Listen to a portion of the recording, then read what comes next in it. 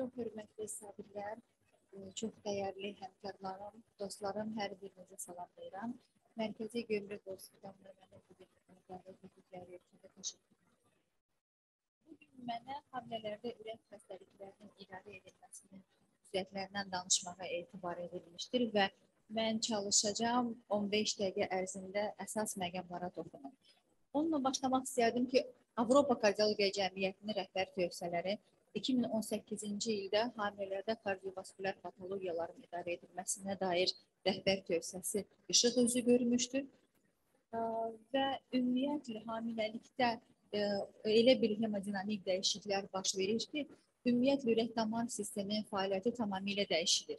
Ən azından 6-cı həftədən etibarən plazma həcmi artmağa başlayır və ikinci trimestrə qədər bazal həcmi 50%-ə qədər artmış olur ürək döyüntüləri isə 20%-ə qədər artmış olur. Plasenta böyüdükcə uşaqlıqda olan qan axımı artır və bununla əlaqədar ilk trimestrdə arterial təzyiqin düşməsi, daha sonra isə arterial təzyiqin qalxması qeyd edilir. Həmçinin də venoz durğunluğu ilə əlaqədar aşağı ətraflarda ödemlər əmələ gələ bilər. Ümumiyyətlə hər hansı bir sağlam insanda hamiləlik planlaşdırdıqda təbii ki, kardioloqa müraciət etməyə ehtiyac yoxdur. Amma ən azından terapevtik müayinədən keçmiş və bəsit ə, auskultasiyadan ki, ürəyin auskultasiyasından söhbət gedir, keçirilməsində bir fayda var. Poliklinikada isə mövcud olan müayinələr elektrokardioqramma, ekokardioqrafiya, stres test və digər radioloji müayinələrdir. Həmin e, dediyim rəhbər tövsiyələrində həmçində Ümumdünya Səhiyyə Təşkilatının anada ürək damar riskinin ə, ürək damar riskinin modifikasiyalı təsnifat təklif edilmişdir və bizim işimiz çox asanlaşdı. Bir diaqnoz qoyulur, daha diaqnozun qabağında həmçinin anada kardiak hadisənin əmələ gəlməsi göstərilir, konsilium keçirilməli və ya keçirilməməli, hamiləlik zamanı təqibi göstərilmişdir, hansı perioda təqibi olmalıdır, doğum yeri harda olmalıdır və s. kimi diaqnozlara görə bölünmüşdür. Ümumiyyətlə, anada və neonatal hadisələrin prediktorları daha əvvəl keçirilmiş kardiak hadisələrdir. Məsəl üçün, ürək çatışmazlığı keçirilmiş miokard infarktı, transitor işemik atakı, səyrici aritmiyalardır, insultlardır, ürək çatışmazlığının inkişafıdır və s. Elektrokardioqrammada biz həmişə bir bir kardioqrammaya baxdığımızda bir gənc qadının e, tipik kameri bir elektrokardioqramması olur. İlk öncə takikardik olur və ST segmentinin qeyri-spesifik dəyişiklikləri olur. Ekokardiografiya zamanı isə çox mühüm bir rol oynayır bu müayinə. Çünki nəticə etibarilə biz boşluqların funksiyasını ə, və ölçülərini qiymətləndirir, qiymətləndirə bilirik. Həmçinin qapaq funksiyası qiymətləndirilə bilir və bəzən hamilələrdə biz qradiyentinin artmasını da qeyd edə bilərik. Stres testə gəldikdə isə qısaca deyim ki, ə, yəni hamilələrdə deyil də, sırf kardioloji praktikada stres testin yeri biraz azalmışdır. Nəyə görə? Çünki ə, e, öz ə, e, dəqiqliyinin kifayət qədər aşağı olmasından dolayı gəlir. Bu təxminən 85% təşkil edir və stres testin əsas məqsədi ürək döyüntülərinin sayı artırmaqdır. Nəticə etibarilə miokardın oksigenə olan tələbatı artırılmasıdır və həmin koronar arteriyaların o tələbatın təmin etməsini yoxlanmasıdır məqsəd. Zaten hamilə qadında ürək döyüntüləri sayı artıq olur, oksigenə tələbat artıq olur və ona görə də hamilələrdə stres testinə o qədər də ehtiyac qalmır.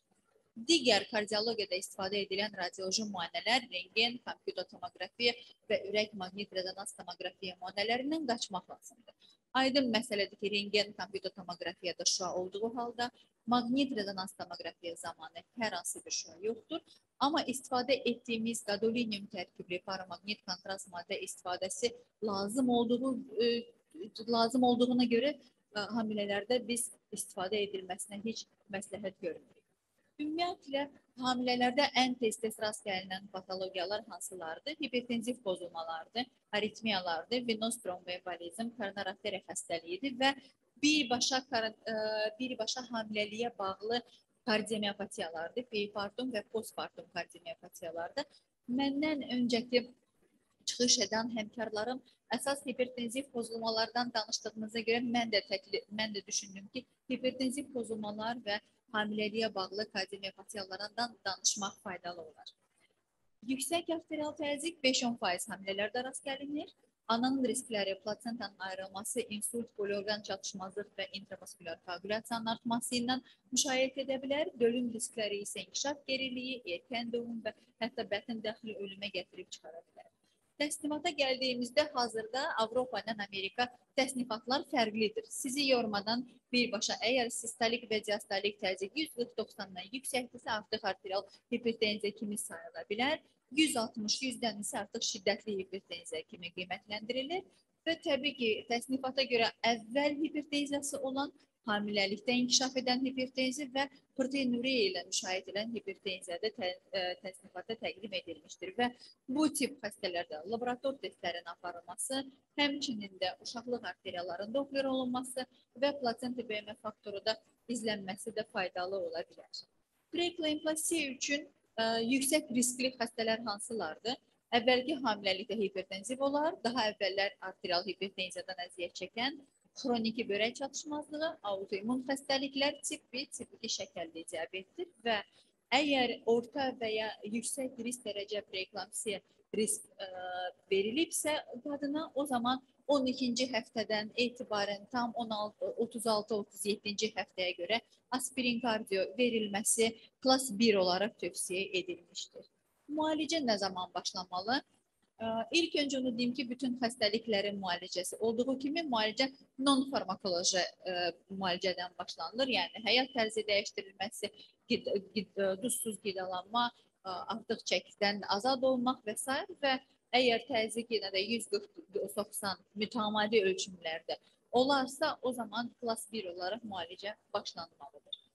Bilinən ümumiyyətlə aparılan tədqiqatlar yalnız labetalol, nifidipin, metildopanin və mən qara e, işarələdiyim preparatlar Azərbaycanda mövcuddur. Təəssüflər olsun ki, labetalol olmasa da, amma əlimizin altında nifidipin və metildopa var və həm şiddətli, həm də yüngül arterial hipertenziyada istifadə edilə bilər. Beta blokatorlar bir növ istifadə edilə bilər, amma dölün e, inkişafının geriliyinə səbəb ola bilər və fetusun bradikardiyasına gətirib çıxara bilər. Ona görə də o qədər də biz məsləhət görmürük. E, postpartum hipertensiyada isə metildopa istifadəsi postpartum depressiya riski olduğundan məsləhət görülmür. Ümumiyyətlə bütün ras sistemi inhibitorların istifadəsi klass 3, yəni tövsiyə edilmir. Bunlar həm Kaptapril, enalapril, prillə qutaran bütün dərmanlar, həmçinin sartanlar ə, məsləhət görülmür. Ə, hipertenziya və laktasiyadan danışırıqsa, süd verən anada ümumiyyətlə arterial təzyiq artmaz, tam tərsi düşməyə meyli olar. Ümumiyyətlə bütün antihipertenziv dərmanlar ana südünə keçir. Bir az dərmanlar arasında plazma konsentrasiyası ilə fərq ola bilər. Qısaca postpartum və peripartum kardiomiopatiyaya keçmək istəyərdim. Erkən simptomlar nədən ibarətdir? Periferik ödem, təngi nəfəslik, ürək döyüntü, davamlı öskürək və tez yorulmadır və bir daha da vurğulamaq istəyirəm ki, periferik, periferik ödem, təngi nəfəslik və ürək döyüntüsü kimi şikayəti birbaşa hamiləliyə bağlı olduğundan gec diaqnoz olunur. Xəstələrin 78%-i yalnız doğuşdan sonra diaqnoz qoyulur. Erkən alqoritm ondan ibarətdir ki, bu xəstələr, bu tip xəstədə bu şikayətlər olduğu halda mütləq şəkildə kardioloqa yönləndirməli və ən bəsit poliklinikada elektrokardioqramı, exokardioqrafiya və ürək çatışmazlığı üçün spesifik olan natriutik peptidin təyini də zəruri ola bilər. Bir xəstə təqdimat etmək istəyərdim sizin üçün. 19 yaşında qadın xəstəsi bir ay əvvəl doğuş olmuşdur. Şikayəti ciddi təngi nəfəslik, tez yorulma, ayaqlarda ödemdən və ümumi yorğunluqdandır. Bu xəstənin elektrokardioqrammasıdır. Qeyri-spesifik bir dəyişiklikləri var, tahikardikdir. Bu da xəstənin ekokardioqrafik görüntüləridir. Burada dilatasiya və sol mədəciyin sistolik funksiyanın azalması biz görürük.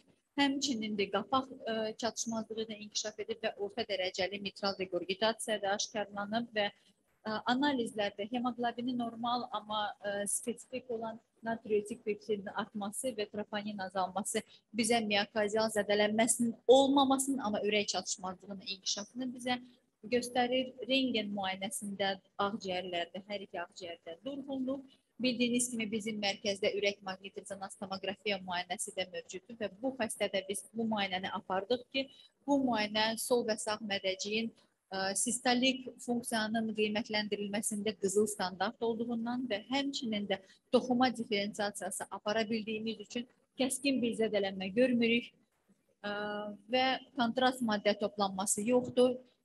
Yəni fibroz toxuması yoxdur.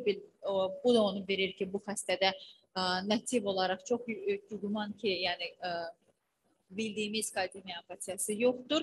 Diaqnoz postpartum kardiomiopatiya ürək çatışmazlığı 3-cü funksional sinif və optimal medikamentoz terapiya 2018-ci ilə uyğun olaraq, çünki xəstə 2018-ci ildə bizim yanımızda olmuşdu. Nəyə görə vurğulayıram? Çünki 2019-cu ildən etibarən indiyənə qədər artıq kardiologiya ürək çatışmazlığı müalicəsində revolyusion müalicələr gəlib. Yəni biz 2-3 yeni qrup preparatları istifadə edirik ki, hansı ki, həm xəstənin kardiovaskulyar ölümündən, həm də ürək çatışmazlığı ilə bağlı hospitalizasiyanı kifayət qədər azaldırlar.